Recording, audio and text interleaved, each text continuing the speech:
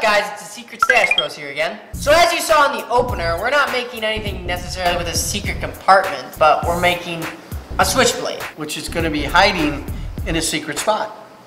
Yeah. this is probably going to be one of our more higher technical builds, so I'm going to really try hard in the voiceover to try and explain what's going on. And just like last time, see if you guys can find the red lion. Let's go build it. Perfect. I can't even begin to tell you how much of a pain in the neck this knife was to make. Because we didn't have any building plans or blueprints to go off of, we found a video online that we'll link down below that kind of showed us how it worked. So we were just going off of what we saw and then had to come up with all the measurements on our own. I wouldn't recommend using the dimensions in the pictures above as this was really early on in our build and we weren't exactly sure what all our measurements needed to be. So this is just to give you an idea of what the whole thing is supposed to look like. Keep in mind that almost this entire thing is going to be made out of wood, so we actually had to make the knife portion a lot bigger and clunkier than a metal version would be because wood has limitations, so some things might look bigger than they need to be, but it's because we're making it out of wood and wood breaks a lot easier than metal.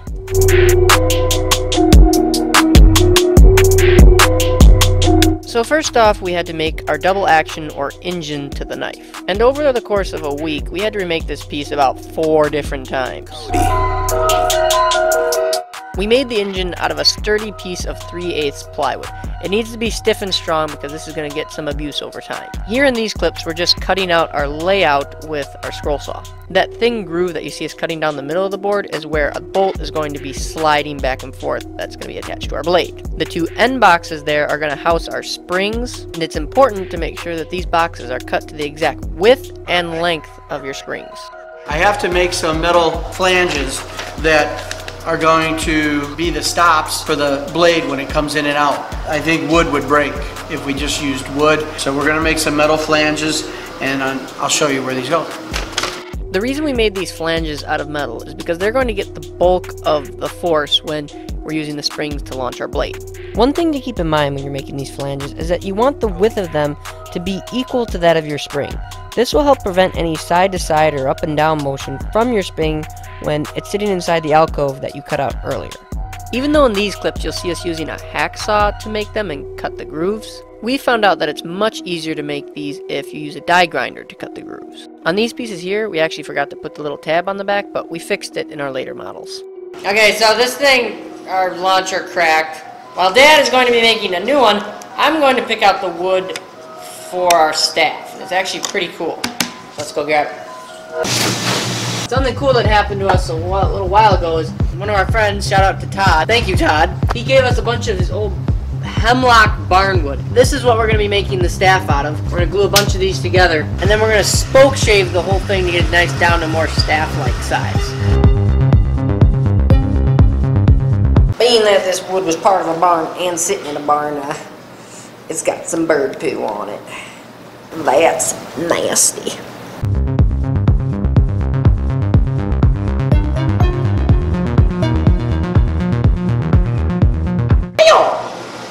Since this is some old barnwood, we gotta make sure there's no nails in it. At this point in the project, we had no idea how long our knife was going to be, so we just cut the boards to some rough dimensions, about 4 inches wide by 60 inches long. Our two middle boards, however, were actually cut about a foot and a half short so that we could make the insert for our knife later on. I'm gonna get all that nasty bird poo off it.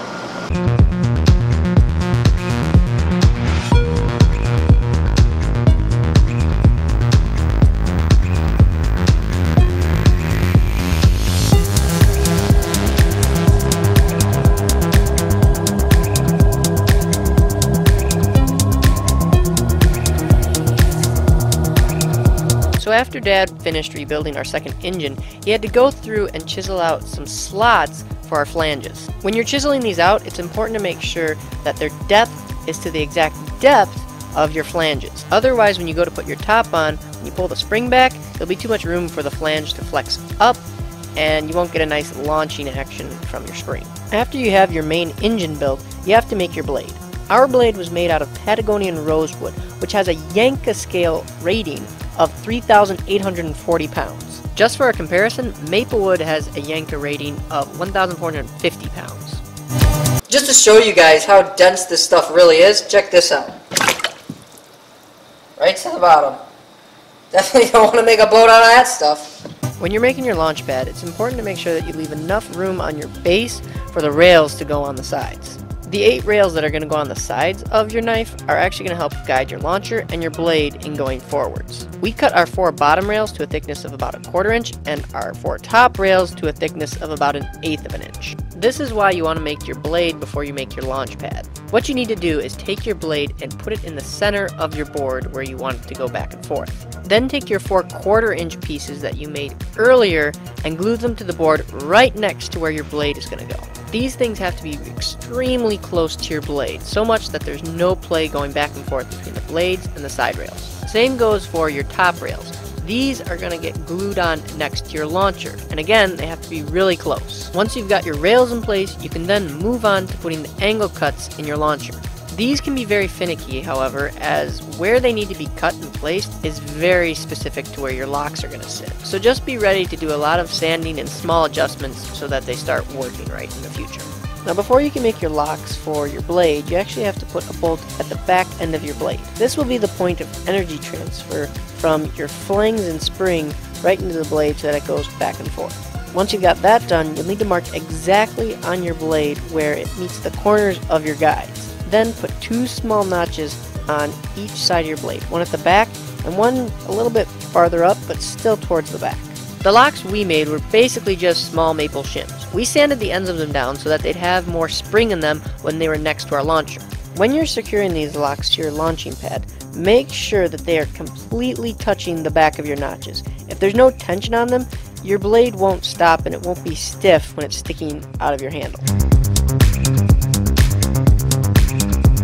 Unfortunately, this is where I have to stop part one of our build.